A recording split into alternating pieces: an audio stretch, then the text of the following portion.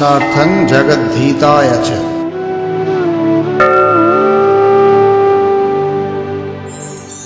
Varanasi, the dawn of the 13th of June, 1900. It was also the dawn of an era which would see the flowering of the highest form of spiritual practice as taught by Swami Vivekananda. Jamini Ranjan, a poor Bengali youth on his way to the morning dip at the Ganges, finds a widow lying sick and hungry. Fresh in his mind was ringing the just published epochal lines of Shamiji. বহুমুখে সম্মুখে তোমার ছাড়ি কথা খুঁজিছ ঈশ্বর জীবে প্রেম করে যেই জন সেই জন সেবিছে ঈশ্বর Jamini Ranjan didn't have to think twice. Assuring the lady he rushed back to find his friends and together they fed and nursed the widow and saved her life.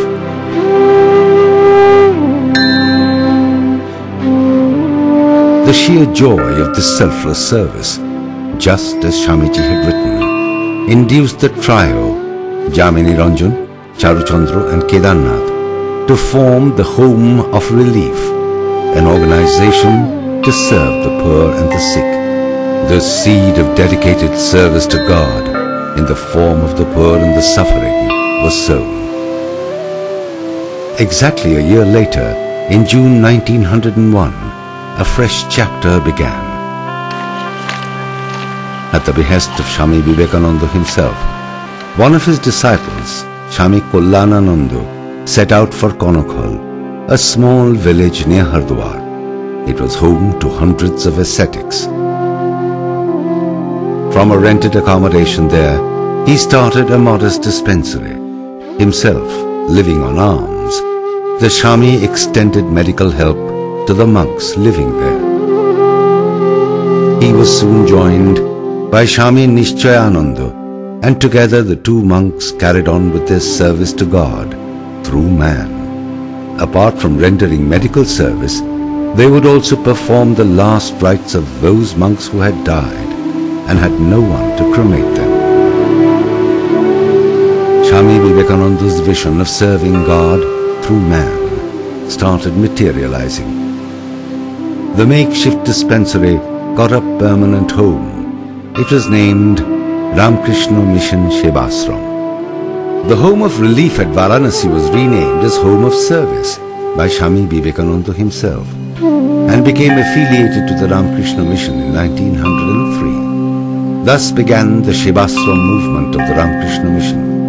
It flourished in time, and more than a hundred years later, it still renders succor to the poor and the suffering today.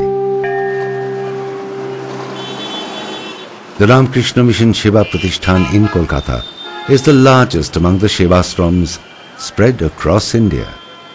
The story of the Seva Pratishthan in Kolkata chronicles the hard work and the dedication of the Karmayogi, Swami Dayananda. Dayananda was a direct disciple of the Holy Mother, Sri Sharada Devi. He was initiated into monastic life at an early age of 23 and was quick to be ordained a monk at 29. He was sent to the United States of America in 1926. Posted at the Vedanta Society of San Francisco, he nurtured ideas beyond his immediate mission of preaching the Vedanta. While his audience learnt the wisdom of the East, the monk silently learnt the Western ways of maternity and child health care. His dream was to return home to his deprived country and start a modern maternity and child care center. Swami Dayananda ji faced a very difficult task in convincing the mission authorities to start Shishu Mangal. It was almost unthinkable at that time that monks would run a maternity and child welfare center. But Dayanandaji was firm in his stand.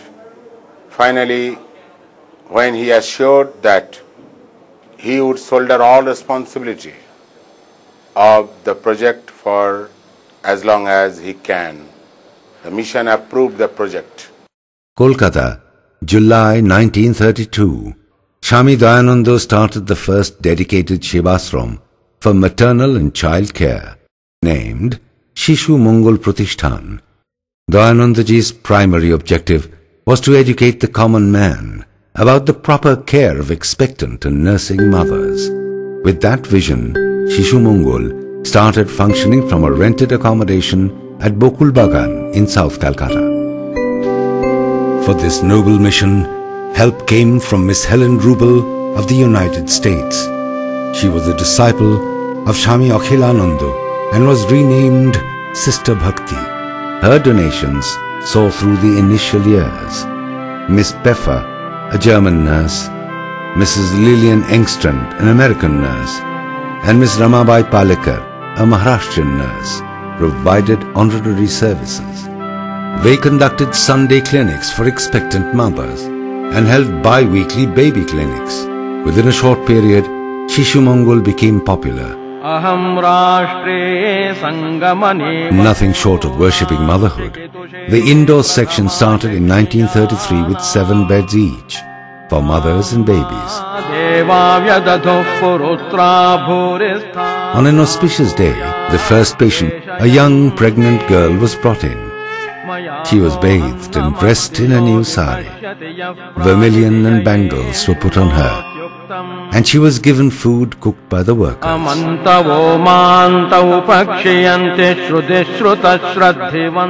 The selfless efforts of Dayanandaji and his dedicated band of workers very soon bore fruit.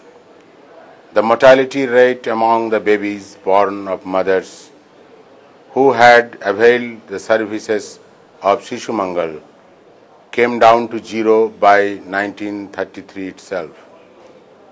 Shishu Mangal started winning admiration. Leaders like Subhash Chandra Bose, Jawaharlal Nehru, Dr. Radha Krishnan visited the institution. Donation started pouring in.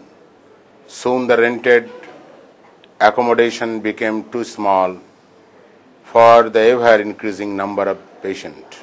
With more and more expectant mothers coming to the doors of the Pratishthan, its birth register kept filling up. The pressure to move to bigger premises became pressing.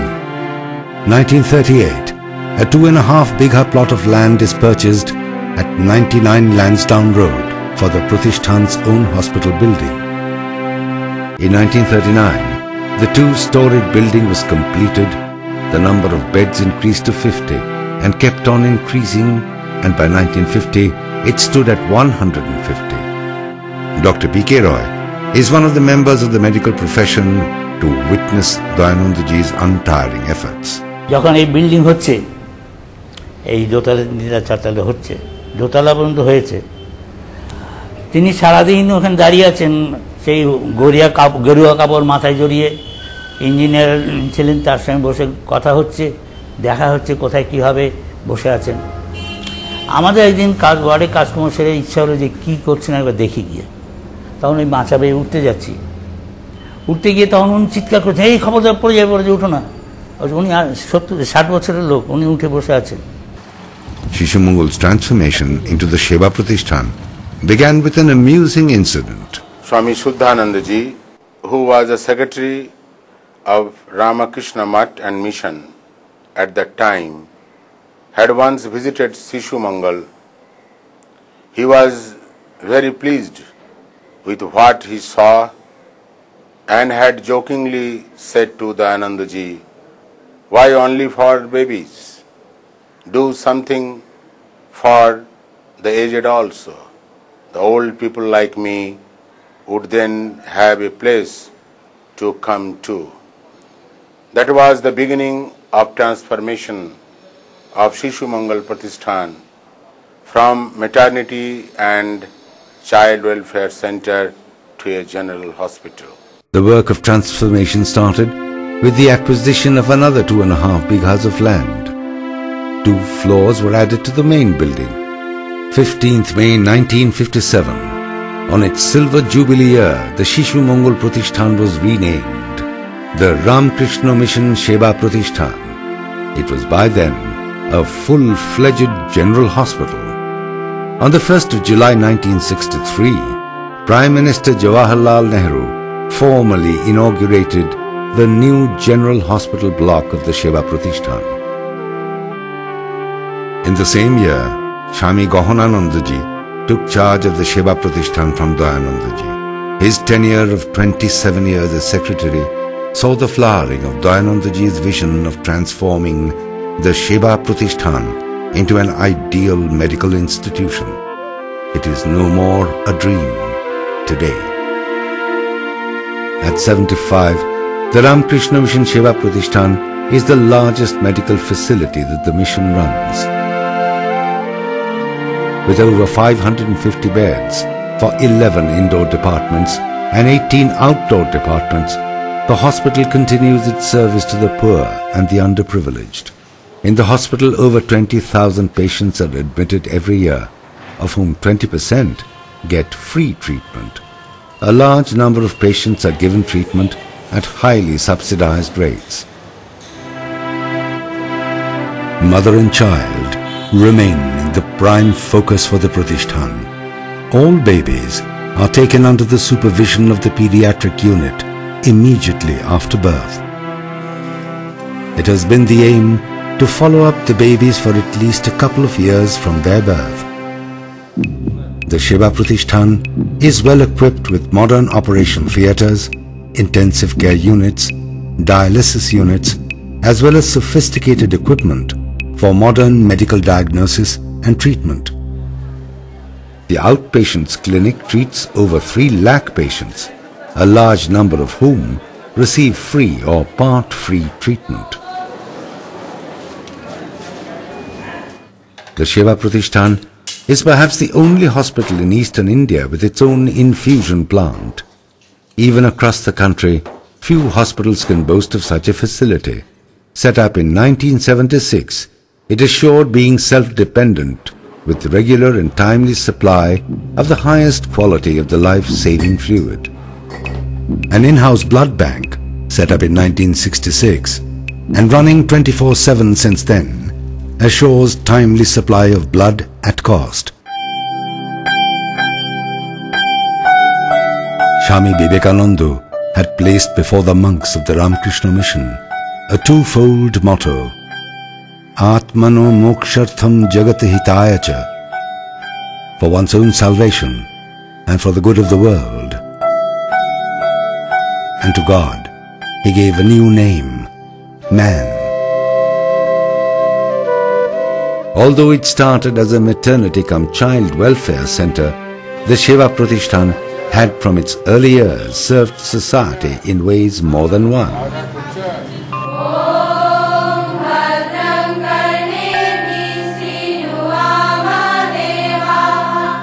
The Ramakrishna Mission School of Nursing and the Ma Sharada College of Nursing, run by the Seva Pratishthan, ranks among premier institutions of its kind today. Set up in 1956, the School of Nursing today is recognized by the Indian Nursing Council and offers a three and a half year full-time course in general nursing and midwifery. About 140 students from poor and low-income families are maintained and trained free of charge. The Ma College of Nursing was started in 2005. It offers a four-year undergraduate degree course in nursing. More than just being trained in the nuances of the trade, the students imbibe the philosophy of true service.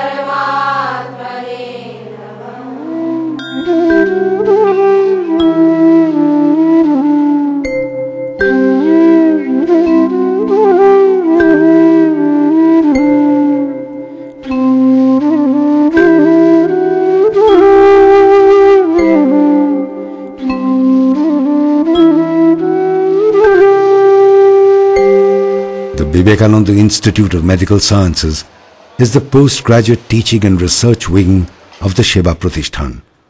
It was recognized by the Calcutta University in 1963, Swami Vivekananda's birth centenary year, with affiliations from the Indian Council of Medical Research, the Medical Council of India, as well as the University Grants Commission, VIMS trains students for MD, MS, as well as DCH, DGO, DO, DLO and D-Ortho courses.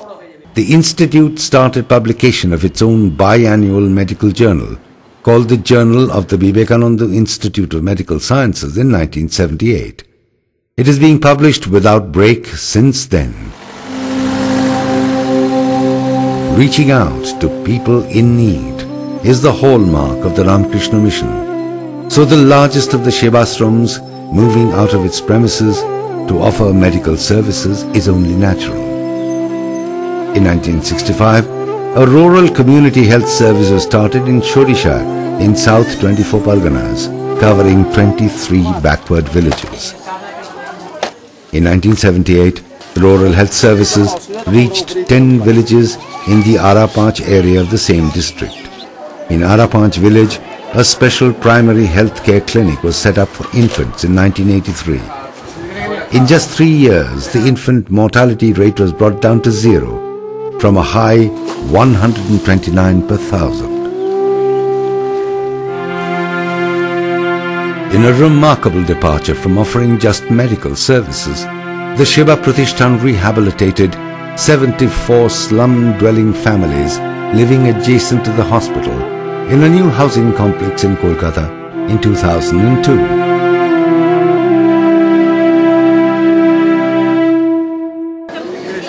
Ramakrishna Mission Seva Pratishthan has today a glorious record of 75 years of medical service. At a time when healthcare has turned commercial, the Seva Pratishthan is an austere protest. Ramakrishna Mission Seva Pratishthan has throughout these years held its head high despite adverse circumstances, never yielded to any pressure. It has remained a symbol, a symbol of not only protest but of hope for the common people. It was made possible by the selfless band of medical practitioners who have rendered honorary services to provide cost-effective yet modern medical and scientific advances to the sick. we treat low budget patients, those who can't afford the high tech hospital. That does not mean that we don't have the high tech instruments. All the big surgeries are done here. And the doctors, we as a doctors don't charge anything from the patient and that benefits them too much. The big, big operations are done at very moderate rate. I am privileged that I was born in this hospital only and I believe I will continue to serve this hospital till my last breath. The children that the Seva Pratishthan has brought into the world includes many illustrious sons and daughters of our soil who have later distinguished themselves in various domains of public life and service. The huge expenditure to run such an institution is met by donations from the common man. From the days of Miss Helen Rubel, there has not been a dearth of such benevolent souls. The new seven-story Platinum Jubilee Wing has come up with donations from Srimati Abha Sinha in the memory of her son, late Adhish Chandra Sinha. আমার ছেলে সবসময় আমায় বলতো যে, আমি একটা কিছু করব। লোক মানে স্পেশালি গরিবদের মানে যাতে সেবা চিকিৎসা পায়। কলকাতা শহরেও ও দেখতো যে ভালোভাবে সবাই চিকিৎসা পায় না। তো অনেক দিন থেকে ওর ইচ্ছা ছিল। কিন্তু এবং যখন এ করল সব কিছু ব্যবস্থা করল, তখনই শরীর অসুস্থ হয় সে করে যেতে পারল না। তার অসম্পূর্ণ কাজ আমি এটাই শেষ করলাম। The new seven-story wing was dedicated to service on the Platinum Jubilee of the Pratishthan on the 24th of July 2007 with modern medical facilities. The ground floor will house the emergency and a large waiting hall, a canteen for the staff and the visitors, as well as an investigation center will be on the first floor. The whole of the second and the third floors have been reserved for a modern pediatric unit with 60 beds, increasing the total number of beds to 610. The nursing school and the nursing college will get their new home on the fourth and fifth floors. The sixth floor will have a 500 seat auditorium named after the founder Swami Dayananda. In 75 years, a lot has changed within and beyond the Seva Pratishthan, but it remains firmly rooted to its motto of serving God in man. ideal of serving God in man removes all the barriers of caste, religion, social status, etc., and makes service, especially medical service, a great privilege, honor, and blessing. It elevates both the server and the served, the doctor and the patient to a high level of mutual trust and friendship. This ideal of service is now spreading in India and several other parts of the world. Sri Ramakrishna's teaching was the seed through Swami Vivekananda. It has become a mighty tree. The Holy Mother Sri Sharada Devi visited the home of service at Varanasi on the 8th of November 1912. She was very happy with what she saw. She said that the spirit of Thakur Ramakrishna himself was present there. Her observation had settled the dilemma among some monks whether the mission should at all go for offering medical and relief services. After nearly a hundred years now, that remains the inspiration for the monks and the volunteers of the mission in serving suffering humanity.